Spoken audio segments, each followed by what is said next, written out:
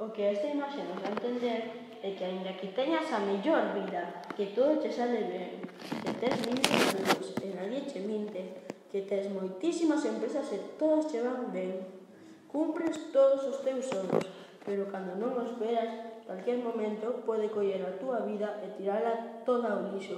Todo o que viviste vai ser todo e todo por unha tontería. Valora o que tes.